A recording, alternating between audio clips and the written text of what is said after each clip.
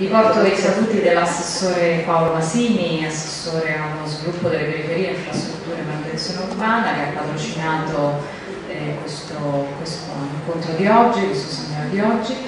E, mh, avrebbe voluto essere qui ma ovviamente come potete immaginare sono giornate un po' complesse per Roma tra allagamenti e problematiche varie, purtroppo è una città sempre in preda alle emergenze quindi vorremmo volare più alti come le farfalle, ma a volte insomma, le emergenze ci riconducono un pochino più su, sul suolo, diciamo, in questo senso, è vero, senso e, comunque con molto piacere eh, noi cerchiamo insomma, di appoggiare veramente questo tipo di iniziative anche nella Casa delle Farfalle Ehm, abbiamo dei centri culturali, tra l'altro quello di San Basilio, all'Aldo Fabrizi c'è già un giardino delle farfalle che voi avete visitato su nostra indicazione per cercare anche di riattivarlo. Inoltre stiamo sviluppando una serie di progetti anche di orti nelle scuole, insomma diciamo che la direzione è, è questa, è segnata. E ovviamente appunto come dicevo prima dobbiamo fare un po' i conti con, con le emergenze, con il bilancio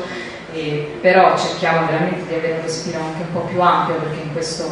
discorso rientra anche un po', eh, ieri, proprio ieri appunto è uscito il tema di maturità che riprende l'indicazione anche di Renzo Piano su questo rammendo delle periferie e diciamo che noi siamo in sintonia, stiamo tra l'altro collaborando anche con il gruppo di Renzo Piano proprio in questa direzione, proprio di ricucire i pezzi di questa città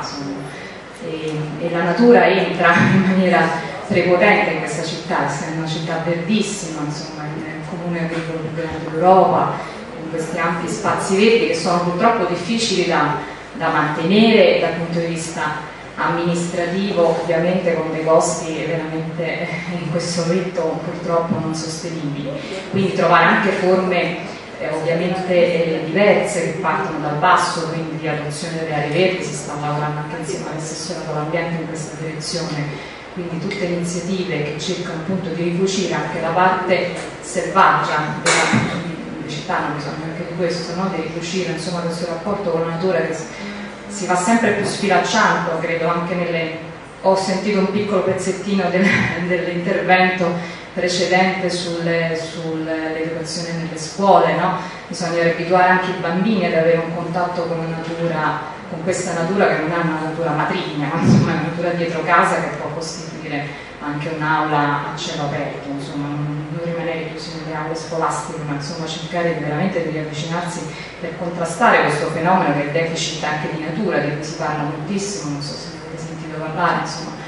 eh, deficit di natura dei, delle nuove generazioni che si allontanano appunto dagli ambiti naturali, dal contatto con la natura con tutte le conseguenze, perché se dobbiamo formare una classe dirigente del futuro eh, che abbia a cuore anche il patrimonio naturale, forse tocca cominciare veramente a lavorare in maniera eh, più incisiva nelle scuole in questa direzione, quindi i giardini delle farfalle o eh, comunque questo tipo di iniziative vanno in questa direzione veramente per riconnettere il,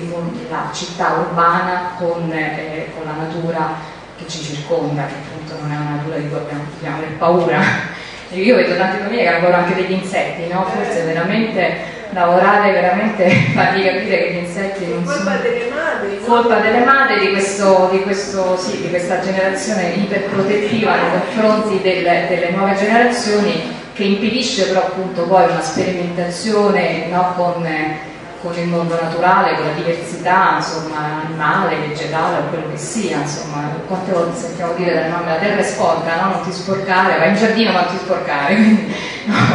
invece tornare veramente con le mani nella terra no? sarebbe, sarebbe, molto educativo e formerebbe insomma, diciamo, queste le nuove generazioni gli anticorpi, sì, è vero, le pubblicità ci massacrano no? con disinfetta qui, disinfetta lì, no? poi alla fine siamo tutti allergici, no? i bambini di oggi sono tutti allergici con le asmi, eccetera, non a caso insomma. Quindi io ascolterò l'ultima da tavola rotonda adesso, cioè, molto volentieri, poi se volete insomma sono a disposizione per qualsiasi tipo di, di informazione, insomma, per uno scambio. Grazie. Thank you.